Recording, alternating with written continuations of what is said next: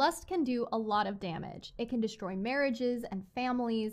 It can alter the way that you view yourself and that you view others, which can make it virtually impossible to create healthy, lasting relationships. For example, instead of viewing yourself or others as God's daughter or son, you will then begin objectifying and sexualizing yourself and others. This leads to failing friendships, inconsistent dating, attachment issues, among other things.